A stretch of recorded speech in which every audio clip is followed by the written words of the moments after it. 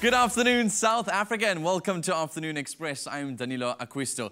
Thanks so much for tuning into the show today while the rest of the country is out there trying to catch Pokemons with Pokemon Go. Recently, I found out that apparently this is the biggest game that's ever been created in US history, and it's just taking the world by storm. It is a Fashion Thursday on the show today, though, and I'm very excited to introduce you to Lukhanyo Mdingi, one of the most incredible designers. Uh, recently, I got a huge privilege to go and see him show his work at Menswear Week uh, in Cape Town, and man, oh man, is this man talented. He is so uh, passionate about local design. He's so passionate about ethical fashion. We'll be having that conversation later on in the show. Plus, we mentioned yesterday that you could win one of his scarves he did with uh, another designer, and you can win that on the show today. The entries are going to close at 4.30 this afternoon. You've got to send through a photo of you wearing your scarf and showing us how you like to wear your scarf. He'll choose his favorite one on Facebook and on Twitter, and then that person will get to win themselves the scarf. We'll announce it at the end of today's show. So make sure you stay tuned to find out if you are a winner. Then also for Winner Home on Afternoon Express today. Trevor King from Caesarstone is here, and we're going to be looking through some kitchen trends for 2016. It should be really, really interesting if you're renovating a kitchen, building a new house, or looking to sell and trying to make sure that your kitchen looks the best of the best when it comes to trending kitchens. I do know we're making something super delicious for dinner in the kitchen. Jeannie's on standby. So, as luck would have it, just before the weekend, I come down with the flu. And it doesn't even feel like the flu, it feels more like the black lung. And I suppose it's probably bad karma because I'm always complaining about the awful weather, even though we've had a really mild winter. So then I considered let's spare some thought for our friends, the United Arab Emirates. Last week, the mercury in Dubai reached 50 degrees Celsius. And if they thought that was bad, Next week, if you take in the humidity factor, it's going to be 64 degrees Celsius in Dubai. Man, it's good to be in South Africa today. and today, of course, I'm going to be in the kitchen with my darling Clem. And if I have to tell you, Italian cars, mm. Mm -hmm. Italian men, mm. Italian fashion, mm. but Italian food is just on a whole other level. So, and are you going to be teaching me how to make Absolutely. quite a healthy pasta veggie dish? Yeah, I mean, we're packing, like you said, not feeling too great. We're packing in all the veggies in today. The best thing about Italian food is you don't have to be Italian to cook Italian. Because it's like the simplest cuisine to cook in the world. Yeah. So we're going to get started straight away. So yes. we're making a ratatouille. Okay. Right, quite famous. I mean, since the movie, people know about it. No. So we're putting it together. We're going to make our own version today. We're doing yeah. a, a roasted ratatouille with a penne pasta with some fresh basil in there as well. It's going to be awesome. Minus the rodents. Let's Minus the rodents. okay. So I love using um, these baby marrows. You can mm -hmm. use the big one as well, whatever's in season, whatever's in shelf. Okay. So we've kind of like cut them into chunks at the moment, but be creative and also keep in mind texture. Texture is everything. Yeah. So I mean, take some of the bigger pieces, cut them diagonally. So you got a mixture of flavors as well. You're not having all your vegetables being like one size. Exactly. Norm normally the rule, we try to say if you're going to be roasting something or cooking a mixture of vegetables, try and keep them the same size because that way they cook evenly. Yeah. Throwing that one out the window today. Just go with it. Go be crazy. Yeah, exactly. So that. But also when you can chew your vegetables like that, I feel like you can taste them a bit better. That's so true. And we're not killing our vegetables, which no. is very important. Ratatouille, so often you go to like these old school restaurants and they make ratatouille and you don't know what you're eating because it's basically like baby food, like, you know, no. Well, no. the really good Italian restaurants do it like how you're doing it. Yeah, nice and chunky, of yeah. course. Of course. And life's too short for bad Italian food, I figure. I think it's almost like, it's actually like a serious crime in Italy. Oh, no, gee yeah. whiz. I've never had a bad meal in Italy. Oh, wow, okay, that's yeah. pretty good. That's amazing. Yeah. Just testimony to the cuisine then. Yeah. Cool. But the ice cream's even better than what their food is. I mean, gelato is oh, insane. my goodness. I mean, winter yeah. doesn't matter. Gelato every day. Yeah, definitely. And as I said, Italian men, it's like, it's, I mean, it's, it's a hazard to your, your neck. You nearly gave us a whiplash. no, no. Just thinking about it. it happens. I'm only human. cool. So red onion went in there. You can use a normal white um, onion, but I mean, red onion's got that slightly sweeter taste. Yeah. And we're roasting everything out. Um, everything's going to get roasted, so all the natural sugars are going to come out anyway. Yeah. Um, red pepper. So this is where preparation needs to be done before. There's a lot of chopping. It's a lot of chopping, yeah. right? So a lot of people say that they actually have a bit of a reaction to the skin on the red pepper. They get like heartburn, and really? I totally get it because it's quite rich. So what you can do is you can blister it on a gas stove or in the oven, and then take the skins off. Okay, explain what it means to blister. Let me show you. Cool. So you get your heat on. Yeah. And with the whole pepper still being before you cut it up, Okay. just pop it over your flame. What's going to happen is it's going to start charring, right? And you're going to actually give it a blister like skin. Exactly. As soon as it starts blistering, put it in a bowl, cover with cling wrap, let it steam for a bit, and just rub all that skin off. Really? Done. Okay, so great. easy. So we're going to keep this quite chunky as well.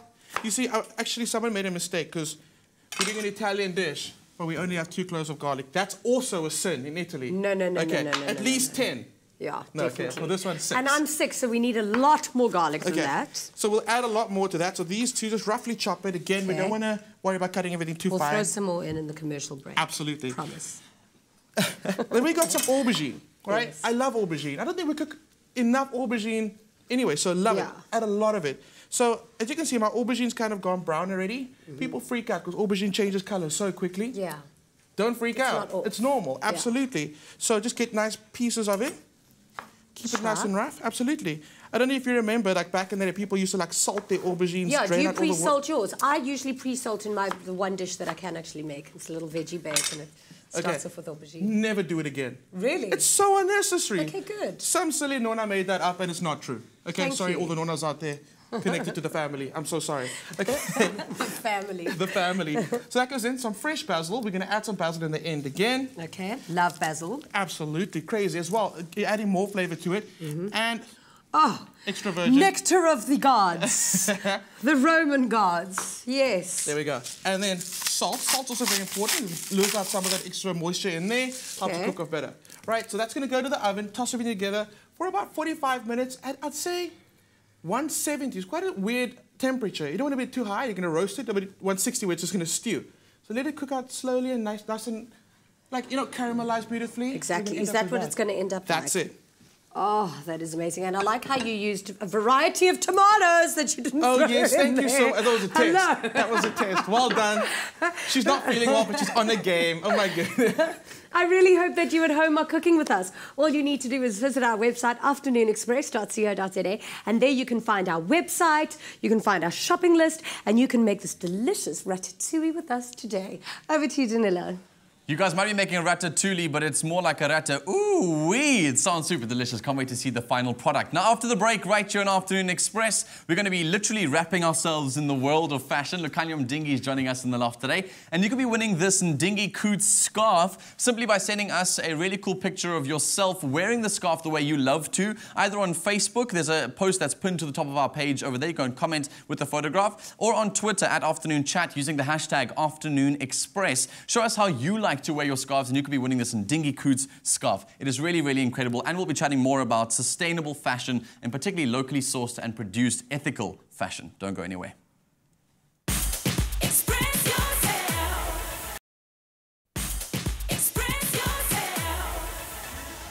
Well, a walk up warm. Welcome back to Afternoon Express as we're having a Fashion Thursday on the show today. Joining us in the loft, we have a young emerging South African designer, Lukhanyo Mdingi. But judging from what I saw at Fashion Week, definitely not up and coming in any way. He's recently represented South Africa ethi- uh, ethical fashion, particularly in countries such as Italy and England, speaking on the importance of African designs. And at the tender age of only 24, he is steadily becoming one of the top designers in the country. It's always good to have you. Welcome Ah, back. Thank you so much. It's good to be here. Yeah, so I, I really loved your show, by the way, and uh, just a little bit of a story from my side. I almost ruined one of your designer garments, which I found at the AKJP Collective, which I wore for an event. It got a pen mark on it. I didn't know. It's all sorted out. Don't even Good. worry about it. Just had to put it on national TV so I could be forgiven nationally. Uh, let's talk about uh, your campaign, Africa This Is For You. Hashtag, uh, now I'm going to remember the hashtag without having to say the words Yeah. out. But talk me through that campaign and, and how you're involved. Yeah.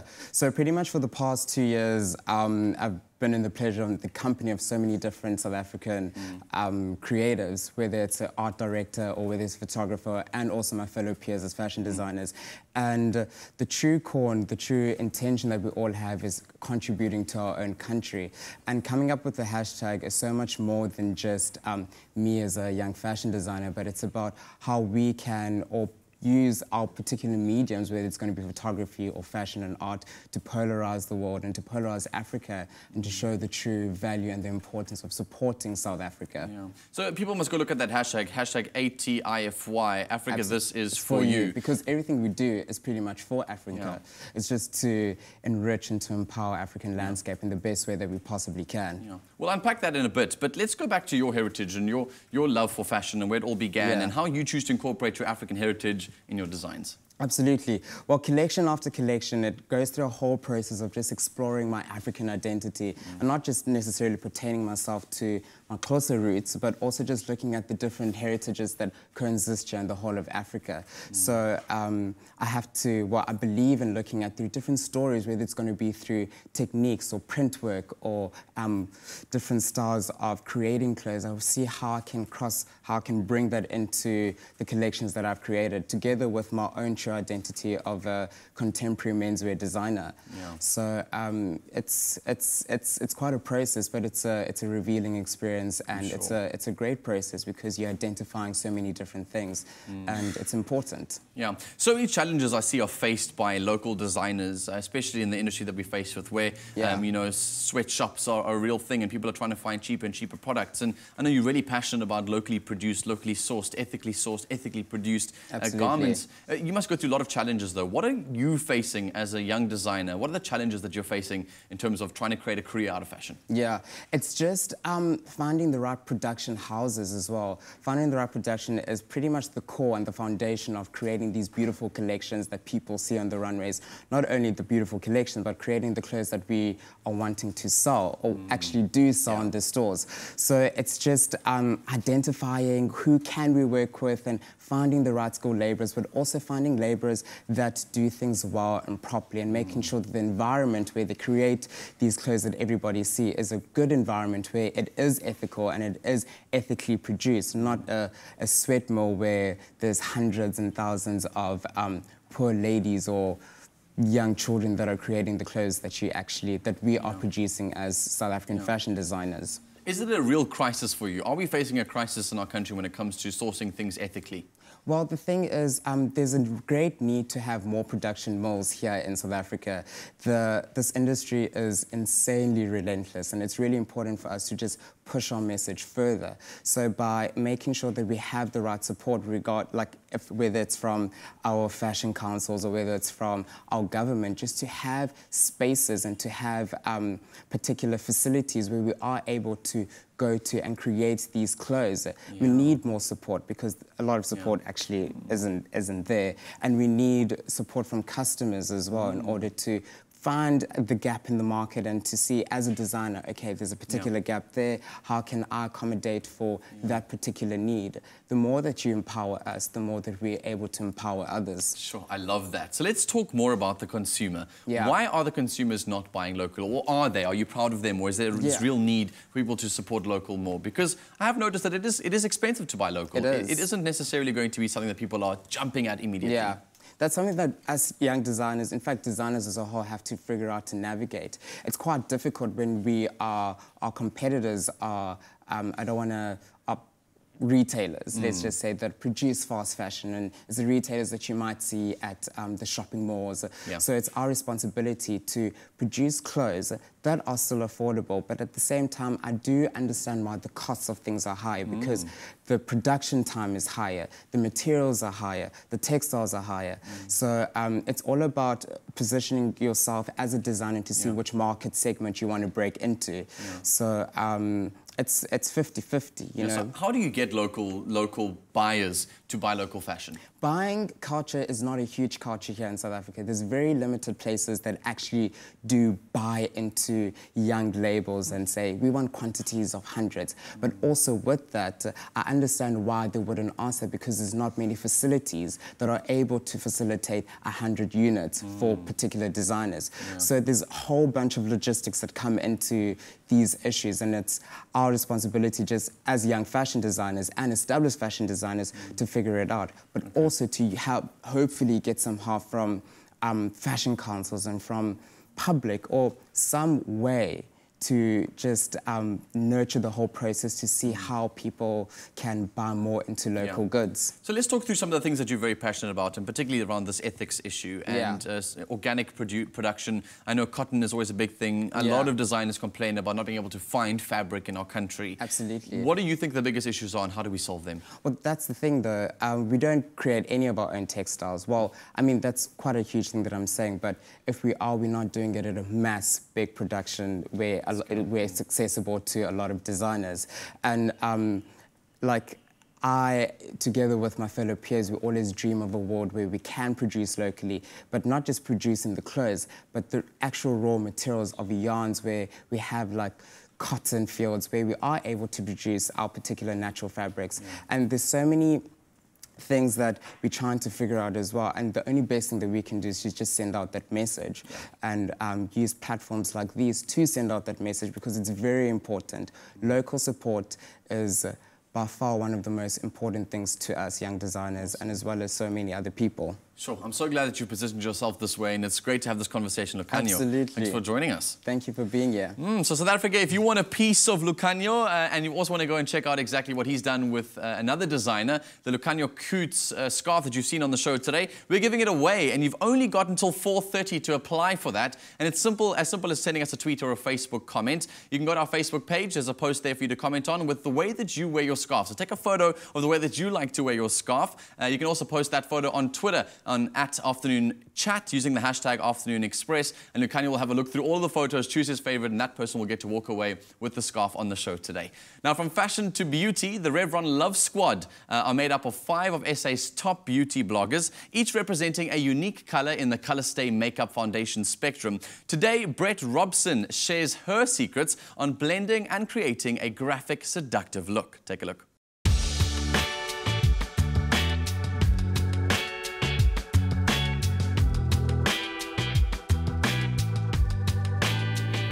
I'm Brett and the theme for this tutorial is seduction. Now today's look is basically going to be a graphic bold liner paired with a subtle pink lip. Now for me, I feel like you can never go wrong with graphic liner. Like you can literally pair any look, but if you're going for a seductive look, I think a pink lip would be perfect. To start off this look, I'm going to be going in with the Revlon Color Stay Makeup Foundation in my shade, which is medium beige number 6. Now I know a lot of women get concerned about foundation and can your skin breathe and does it actually look like skin? And the thing is I think it's all about blending your foundation in and also about choosing the correct shade for your skin tone. Now the nice thing about this Revlon Color Stay Makeup Foundation is that it comes in 27 shades. So that means that you can find the perfect shade for your skin tone. So I like to apply my foundation with a brush, but I do actually blend it in with a sponge, just patting it in to my skin. And I mean, the thing about foundation also is that you literally just need to start with a little bit. You don't need to go in with like a full face. Start with one pump, and if you're happy with the coverage, then just leave it at that. The Revlon Color Stay Makeup Foundation has really good coverage with just one pump. But if you want something more full coverage, then maybe you add a second or third pump. We're now going to bronze up the face with the Revlon Color Stay Pressed Powder in the shade Cinnamon. Now, because the focus is really going to be on the graphic liner, you don't want to put too much bronzer on, you just want to go lightly into the bronzer and then just warm up the face. We're now going in with the Revlon blush in Racy Rose number 8. Now just like the bronzer, you don't want to apply too much blush on your face because you just want to add a little bit in just to give you a nice fresh face look. I'm now going into the Revlon eyeshadow palette in Moonlit and I'm taking color number 3 over here on my brush and I'm just going to put this all over my lid. The focus of this eye look is the graphic liner, so you really just want a subtle eyeshadow that was just going to even the eyelid. I'm now going to take the Revlon Color Stay Skinny Liquid Liner and I'm going to create the graphic line. Now I love this applicator because it's perfect if you are not an expert when it comes to wing liner.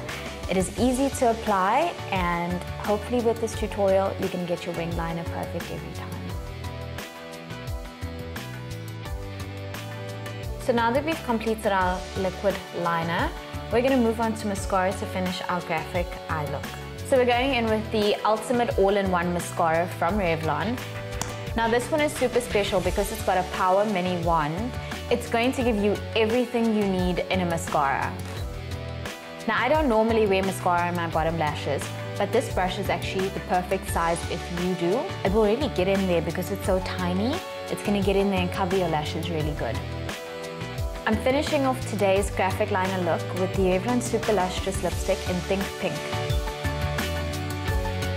And there you have it, your seduction themed look.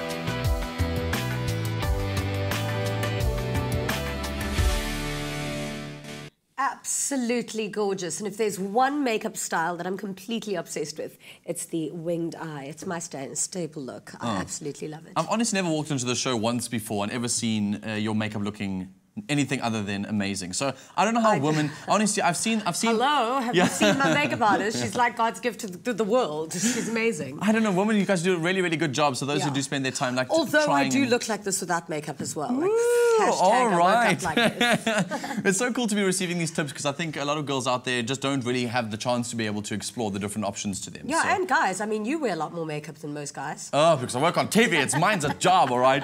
Well, Brett Robson and the Revlon Love Squad will be sharing their love tips and makeup tricks every Tuesday and Thursday on the show. So don't miss the next episode for more love look tutorials with Revlon Color Stay Makeup Foundation. Remember, you can follow the campaign online by following the hashtag, hashtag Love Squad SA. Love is on. After the break, it's time to share another moment with Five Roses. South Africa's favourite tea is expertly blended to ensure that it remains of the highest quality consistently. It's this commitment to excellence that Five Roses puts into making the perfect cup of tea, which delivers its uniquely superior and distinctive taste. Five Roses salutes South African women who too are committed to excellence. So today we'll be chatting with Lauren Beukes, author of international bestsellers The Shining Girls and Zoo City. She's joining us for a cup of delightfully fragrant Five Roses Earl Grey tea, an aromatic blend of quality African teas and the citrus flavour of the bergamot orange. So don't go away. We'll be right back after the break with Lauren Beukes and Five Roses, right here in the loft.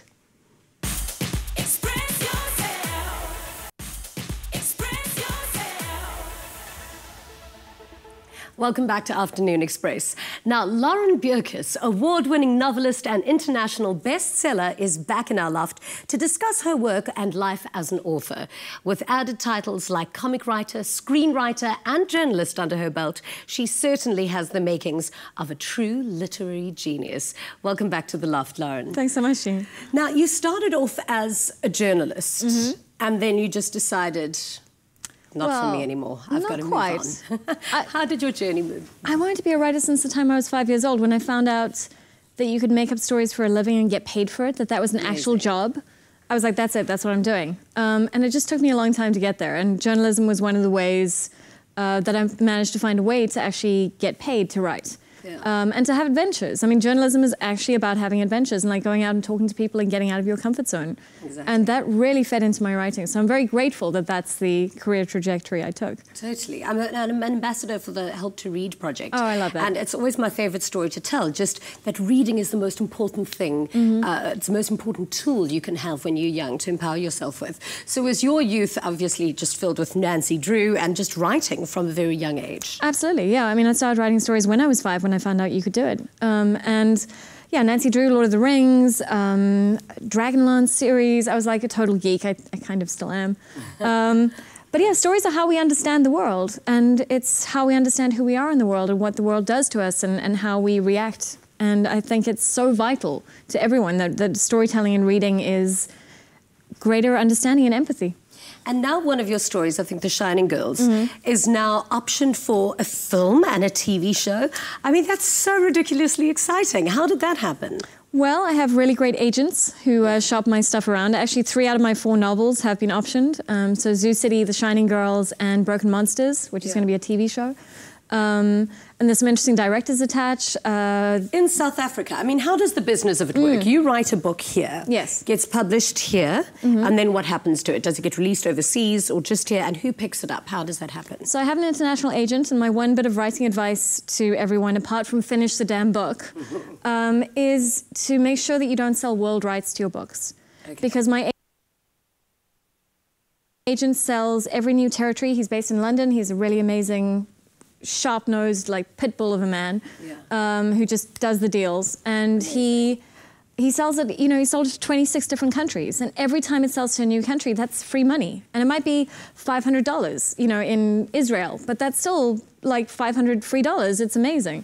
Does it Um, get translated? It gets translated, and sometimes the translator will email me and, and, and say, What the hell is voetsek? And, you know, these interesting South African words. What is it, tsotsi? Um, and I have to, you know, we have an email communication, and uh, it's really interesting to see how the process goes. And then you have a film agent who then approaches production companies to see who wants to. Okay, um, so now that. which book is a TV show? So Broken Monsters has been optioned as a TV show by Endemol in the US, and they've got a very exciting uh, young director attached. Um, the Shining Girls has been optioned by Leonardo DiCaprio's production company. I haven't met Leo. We haven't like hung out on his yacht. Okay, when you do, you're going to say that there's this girl Jeannie. Uh-huh, oh, absolutely, like yacht party for all. Um, and uh, they've, they've been speaking to the Imitation Games director uh, Morten Tyldum, who is such an exciting, such an exciting director. The, the Imitation Game was just absolutely phenomenal. Um, so I'm really excited. We'll see what happens. And none of it's guaranteed. You know, they're still in negotiations, so we'll see. I want to kiss your feet right now. This is so exciting. Well, I am wearing great boots. you are wearing great boots. what is The Shining Girls about? The Just so that I can have some convo with Leonardo. when we talk. Uh, the Shining Girls is about a time traveling serial killer, but really it's about how we talk about female victims. Um, and I think we've seen that so powerfully recently again with you know Oscar Pistor- Pistorius's uh, sentencing. But it's the way we talk about victims and the way we talk about a victim as just, especially femicides. The woman becomes just a bloody puzzle. She becomes um, this kind of sexy corpse. Yeah. You know, and, and all the media back at the time of the murder ran all these photographs of her bikini modeling. And yes, she was a bikini model, but she was also a lawyer. Yeah. And it's devastating how we reduce it to either they have to be very beautiful or the atrocity has to be so horrendous. That's the only way they actually make the news and we actually care. And then we still don't talk about them as people. exactly. So I wanted to look at that, and I also wanted to look at how the 20th century has shaped us. So did that inspire the writing of the story? No, it actually happened just as I'd finished the book and it was about to come out. Then you're not only writing at the moment, you're also direct, uh, directing. You did Glitter Boys and Ganglands. Mm-hmm. What's that about? It was a documentary which came out a couple of years ago. I'd love to do another one, um, but it just it's all time dependent. Um, it was about the biggest female uh, beauty impersonation, female beauty impersonation pageant, female impersonation beauty pageant. Yeah, so it's men that take part in it. So it's men that take part. Um, some of them are trans, trans women. Um, Some of So them very relevant to, to modern day, I suppose. Absolutely. Some of them just like to dress up, and it's just you know it's just fun. Um, some of them are gay, some of them are straight, it, and it's really really interesting to see. And it was it follows three different people. Um, the whole thing is up on YouTube at the moment illegally, but you can try and find it. And uh, we follow three characters, uh, well, three real people: a mechanic, um, a gay mechanic, Eva. Um, the princess who is Caden. She's pre-op. Um, she's about to go through the operation, saving up for it, and she's won a whole bunch of beauty pageants, and she's very confident that she's going to come through. Um, and and a couple of other contestants as well. And it's just interesting to kind of follow their journeys over the run up to the pageant and kind of get into their lives a bit. So it's really it was really fun to work on. It's such a fascinating process. Like you said, you're also working on a, on a horror comic book now as well. Yes. Writing that, and I suppose it's quite similar to doing a documentary, is almost, and I always want, like, question the, the process and how you come up with a story and compartmentalize different people's stories and then bring it into one story. Does that make sense No, to absolutely. you? Well, it's nice to have a holding structure. With the documentary, obviously, that's the pageant. So, you know, we can explore lives and issues, you know, using that as as kind of the carrying thread. Yes. But it's all about people. Um, you know, there, there's a writing meme that, you know, people fight about whether writing, whether books should be about plot or plot-driven or character-driven. Yeah. And those two things are not, you can't separate them out. You can't have one without the You other. You can't have one without the other. If you have characters who are empty-headed and a lot of stuff happening, that's a Michael Bay movie, and it's really boring. um, if you have amazing characters who don't do anything, I, I don't want to watch that either, or, or read that either. You know, I want, I want the characters to go somewhere and to take me on a journey, and for the journey to be happening inside them as well. Where do you draw inspiration from and where do you get ideas from, especially with some of the stuff you write, because they are quite far out there? Yes, no, my stuff is pretty weird, but it's also it's also nice to use these kind of fantastical elements like time travel with a serial killer as a way of kind of shining a light on things that maybe we're tired of talking about. I mean, do we really want to have another conversation about violence against women? It's exhausting. Yeah. And fiction becomes a very powerful way of kind of exploring these themes. And by having this kind of distortion of reality, you can just create enough distance that people come to it fresh. Um, but I get my ideas from everywhere. Uh, with the horror comic, it's called Survivors Club. I'm writing it with um, a very good friend of mine, Dale Halvorsen. Yeah. It's what if the 80s horror movies were real, and where are those kids today? When you write nowadays, when you write a novel or when you write like a comic like this one, Mm. do you think about it in a, in a like in a book version, Mm-hmm. or do you consider digital as well? Like how can how can people find your comic? Is it is it online? It is or- online as well, Okay. um, so you can get it at any good comic store. There are a few in South Africa, um, like Reader's Den and like a proper comic. Yeah, absolutely. Okay. Um, and then uh, bookstores will also be carrying the trade paperback, which is a graphic novel, which is all the issues collected together. Um, and it is online at Comixology or Amazon, so you can you can buy it for your iPad right now. Please do. Yes, definitely. so, considering you do quite a fair amount of dark, quite intense writing, you balance it out with feel good stuff for kids. Yes, absolutely. So I did a Wonder Woman story for kids earlier, uh, well, last year. Yeah. Um, specifically set in Soweto, and it's about two little black girls, and it's about the power of the imagination. Um, and I'm working on a project which is coming up soon with a major brand. We're doing a, this incredible creative book where I write little stories about monsters, like the Oogle, which has eyes all over, um, or a vampire bunny, but you don't have to worry because it only drinks carrot juice. and we want kids to be able to draw them. So that's going to be happening later this year. And I'm so excited about that project. It's really fun, and it's going to be so cool to like try and spark kids' imaginations. Brilliant. It sounds amazing. Thank you so much for coming through. Best of luck. Oh. I really hope that all of you. your stories get turned into these amazing TV shows and movies. Thank you. Good luck. Thank Thanks you so much much. for chatting to us. Thanks, Jeannie. Mastering one profession is hard enough for most of us. Lauren not only reigns as a best-selling author, she excels at literary arts across the board. Five Roses salutes all exceptional South African women. May your journey lead to excellence, whatever your chosen field. Now, we're giving away a fabulous Five Roses gift pack containing an assortment of their delicious teas. So, to stand a chance to win, simply SMS the keyword Five Roses, your name and city to 33728. SMSs are charged at one rand fifty, and T's and C's do apply. So visit our website, afternoonexpress.co.za for details. Now, join us again this time next week when we will be chatting to another exceptional South African woman. And until then, remember that nobody makes better tea than you and Five Roses. The competitions don't stop there, though. We're also giving away a set of three books by Lauren Beukes, including Broken Monsters, The Shining Girl, and Maverick. Simply SMS the keyword books, your name and city to 33728. Remember, like Jeannie said, those SMSs are charged at 1 Rand 50. The T's and C's do apply and can be found on our website, afternoonexpress.co.za. Now, after the break on the show today, we're going to be exploring kitchen trends for the year with marketing, marketing director for Caesarstone, Trevor King. So if you don't want to put the kitsch in kitchen, you better stay right where you are. Express. I'm Danilo Acquisto. I'm Bonnie Mbuli, and Afternoon Express wants you to join the conversation. Like us on Facebook and comment on our daily questions. Send us your tweets at Afternoon Chat using that official hashtag Afternoon Express and follow us on Instagram for exclusive pictures. Or let your voice be heard by calling us live during the show. For more info on our daily topic, visit afternoonexpress.co.za and check out our social media platforms where we inform you on what's trending in our loft this week. We love to hear from you on Afternoon Express weekdays at 4 p.m. Find it on 3.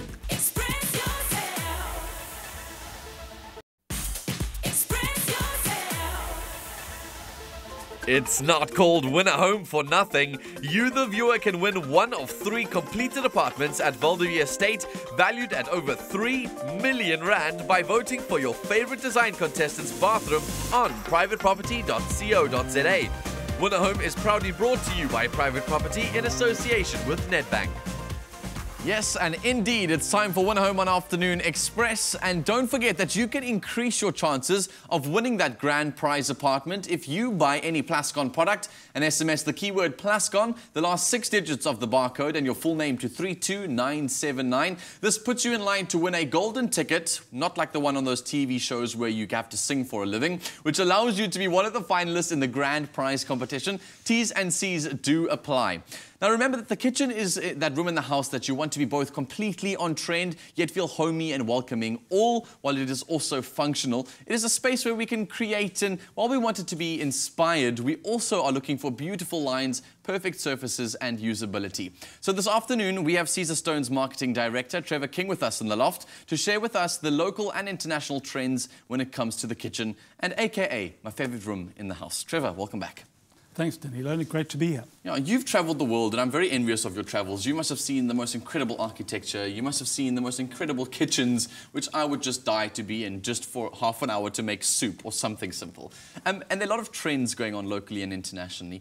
Let's talk a little bit about uh, how you think Caesarstone are incorporating those international trends into something like surfaces.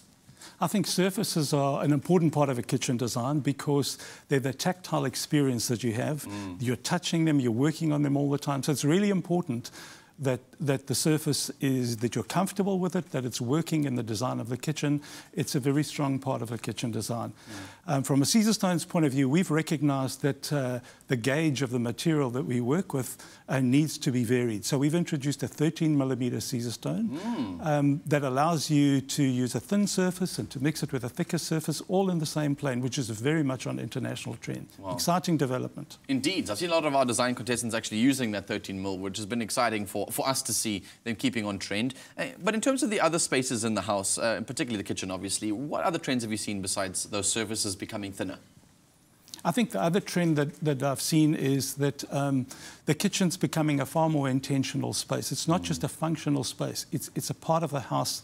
It has a mood, it has an atmosphere. Lighting affects it. it, it the, the lighting is no more just functional, it's now moody. It, it, it helps. Um, establish what you want to say about the kitchen. It's, uh, it's, it's a great addition to the kitchen design. Well, let's break up each of those different elements because one thing I've seen in terms of the trends has been the idea that you're trying to create space in the kitchen. So a lot of stuff is being put away into cupboards and, uh, you know, appliances being hidden away in, in certain aspects. And why is that? And expand on that trend for us. I think because it, it just comes back to the fact that the kitchen's just not a functional space. So now you set it almost like you would set uh, another part of the house ready to receive the guests that you were, were receiving. Um, the, the shelving in the kitchen, a whole lot more open and intentionally styled. Uh, open shelving, floor to ceiling, uh, back, backlit walls that have uh, shelves in front of them with opaque um, uh, glass in front of them. Yeah, just a, a completely different thing to what we used to. Which is interesting because our judges have all been com- not complaining, they've been warning our contestants to keep an eye out on shelving because space is always going to be an issue and making sure that the contestants remain uh, remain present to that and remain co- cognizant of that um, because I think shelving is a big thing and I'm glad to see it's also moving into the kitchen. But let's talk a bit about lighting. You've mentioned it before. How do we go about creating trendy lighting and what are the trends in terms of lighting in kitchens? I, th- I think the trends are that yes, it has to be functional because you've got to work and then you've got to see what you're doing, but it, it's also got to set the mood. So, so the lighting, uh, there are feature lights. Lights are part of the design. When you design the kitchen, you don't just add a light and you actually add a feature light to, to develop the design, and and also just to add light and dark areas to set the mood. I see. Great, great idea. Technology also is moving in, in a really cool direction when it comes to the, the sort of kitchen spaces. I mean, a lot of the appliances that we're buying are, are quite trendy and arty in their styles. How do we go about incorporating good, trendy decisions when buying appliances? And, and what is going on in that space? I, think the, there's so many great appliances available in our country, and there's there's a lot more coming. Um, in, in Europe, I was seeing that there were digital scales built into the surface of the material, um, spots that you could just put your, your cell phone on on the on the kitchen surface and it would charge it. Sure. Taps that that just that all you did was turn your hand over the space and the, and the tap turned on or off. So great things coming, but um, right now they're- they're, they're not here yet. Oh, well, it's going to get then. At that point, I think everyone's going to get even more and more excited about spending more time in those kitchens. Our design contestants are spending a lot of their time in the kitchen, and I'd really like to know from you how you're hoping to see them use your products. Well, I'm, hoping that they use it intentionally so that it's used from a, from, from a functional point of view, but also just to break some of the stereotypes of how you used uh, Caesarstone as a surface material, to move it onto the walls, to move it into uh, building uh, sinks, to move it onto even the floor and, and possibly even onto the cupboard doors. Sure, good advice. Trevor, thank you so much. Thank you so much for having me. Awesome, it's such a pleasure. And uh, contestants, make sure you're uh, listening very, very closely. Remember also at home, entries for Caesarstone's Kitchen of the Year 2016 are still open and will be open until the end of July. So if you have a beautifully designed kitchen which incorporates Caesarstone that was installed anytime between the 1st of January 2015 and the 31st of July this year, this could be your opportunity to win really, really big. Simply log on to caesarstone.co.za where you can enter and find more details as well as all of those T's and C's for that competition. And today is the last chance for you to vote for your favorite design contestant's master bedroom as well while you're online, so don't hesitate any longer. It's not called Win a Home for nothing. You, the viewer, can win one of the three completed apartments at the Val de Vie estate, valued at over 3 million rand, by voting for your favorite design contestant's master bedroom on privateproperty.co.za. Win a Home is proudly brought to you by Private Property in association with Nedbank.